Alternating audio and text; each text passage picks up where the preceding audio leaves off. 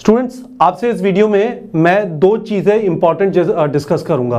एक चीज़ यह है कि टोटल नीट की तैयारी जो है टोटल प्रिपरेशन वो ढाई हज़ार घंटे की है।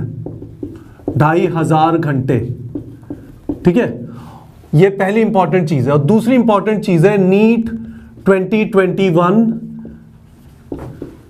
दो मई 2021 को है। ऐसा नहीं है कि डेट अनाउंस हो गई है, पर एनटीए और उससे पहले जब सीबीएसई एग्ज़ाम e लेती थी, मई के हर फ़र्स्ट संडे को नीट का एग्ज़ाम होता था और मई का पहला संडे है, ठीक है? और इसके अंदर करीब पैंसठ हफ़्ते बचे ठीक है? तो 2500 घंटे कहाँ से आते हैं? ये नंबर हम आपको बार बार रिमाइंड कराते रहेंगे, क्योंकि यदि आपने इतने घंटे की पढ़ाई नहीं की तो आपका गवर्नमेंट कॉलेज में सिलेक्शन होना बहुत मुश्किल है। तो समझ लीजिए क्या है। तो नीट में सिलेक्शन यानी गवर्नमेंट कॉलेज में सिलेक्शन के लिए आपको दो चीज़ें चाहिए, ठीक है? आपको दो चीज़ें चाहिए। पहली चीज़ यह है कि आपके कॉन्सेप्ट क्लियर होने चाहिए और दूसरी चीज़ है कि आपकी स्पीड होनी चाहिए। स्पीड क्यों होनी चाहिए? 180 क्वेश्चन 180 मिनट में करने होते हैं, है ना? 180 क्वेश्चन 180 में आप कॉन्सेप्ट बिल्ड करने के लिए क्या करना होगा? आपको थ्योरी आनी चाहिए और आपको थ्योरी की एप्लीकेशन आनी चाहिए। ठीक है?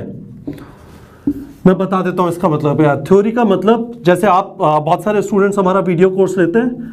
आपने वीडियो देखे और वीडियो देखते हुए नोट्स लिए और उसके बाद एनसीईआरटी का रीडिंग किया। ठीक है? जो लोग कोचिंग जा रहे हैं वीडियो की जगह उन्होंने कोचिंग में क्लास में गए और किसी फैकल्टी ने खड़े होकर पढ़ाया। इसमें करीब दस घंटे लगेंगे पर चैप्टर और इसमें करीब तीन घंटे लगेंगे।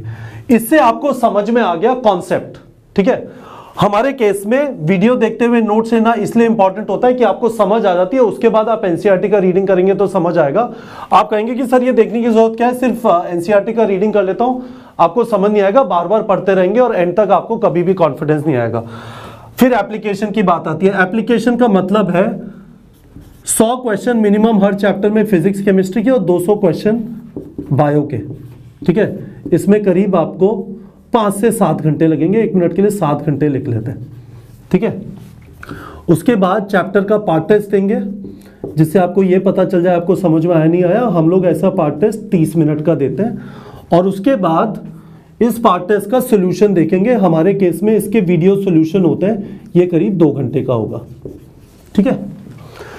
तो ये सारी कहानी, अब आप इन इन सबको काउंट कर लीजिए, है ना?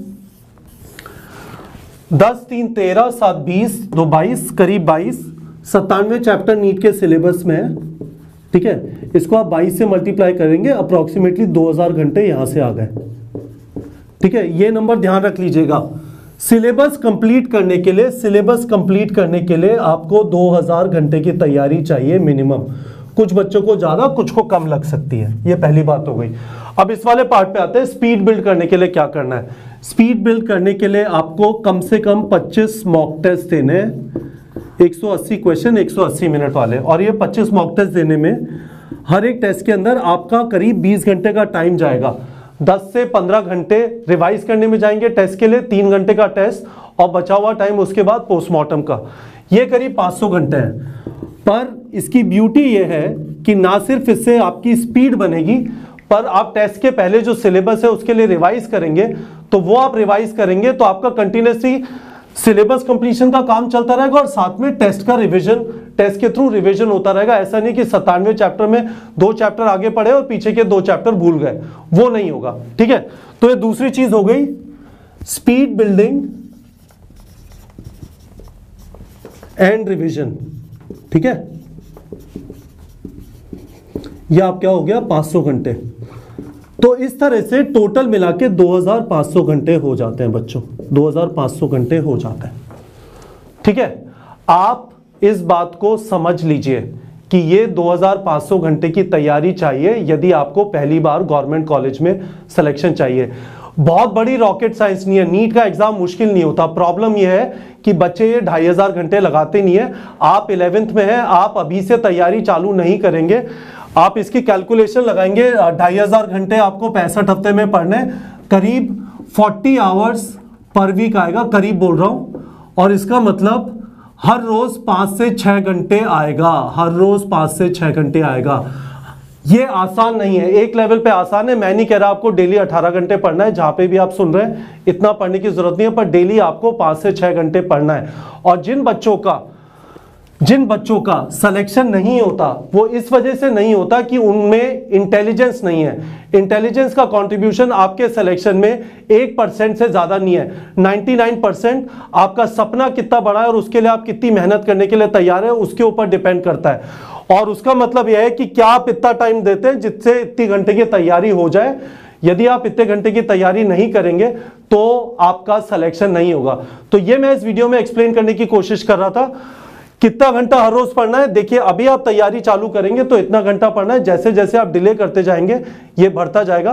तो फुली बच्चों आप लोग को ये वाली चीज़ क्लियर हो गई होगी। आपको कुछ भी सवाल है इसके बारे में, आप मुझे इस वाले नंबर पे कॉल कर सकते हैं, nine double six seven five, nine one nine three zero. पर यदि आपको 2021 दो मई 2021 को क्रैक करना है अभी से तैयारी चालू करिए, नहीं तो आप अपने आप को सफिशियंट टाइम नहीं दे रहे प्रॉपरली तैयारी करके और जो 15 लाख एप्लीकेंट्स हैं उनके साथ कंपीट करने का। ठीक है बच्चों?